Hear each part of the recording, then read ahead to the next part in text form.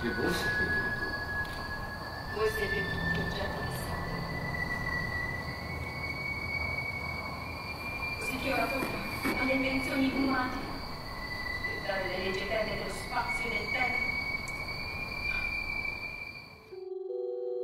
Sì, come cómo diventano nella sfera emotiva